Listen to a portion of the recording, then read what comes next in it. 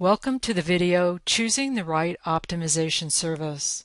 Before we describe the different options for deploying and using optimization in the FICO Analytic Cloud, we will introduce an example where we showcase the different scenarios.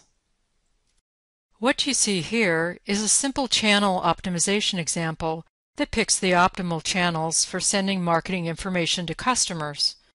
The campaign manager sets a budget, channel costs, and capacities, and decides on an optimization objective. As critical input data, we will use customer and channel-specific propensity scores. The output defines one channel for each customer, which represents the optimal strategy. Every FICO optimization solution is based on an Xpress-Mosel model. Once you have developed the model, you have three options to deploy it on the FICO Analytic Cloud, which we will talk about here.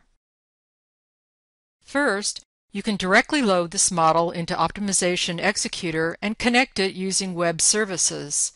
This option allows you to enable your applications with optimization capabilities and use the FICO Analytic Cloud as the optimization execution service. The second option allows you to add user interface elements using Xpress Insight and then uploading the project into FICO Optimization Modeler.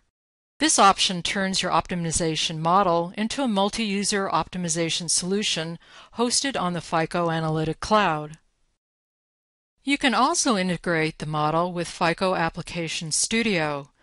This option allows you to quickly develop simple user interfaces and create complex decision management applications using optimization in conjunction with other decision management platform components.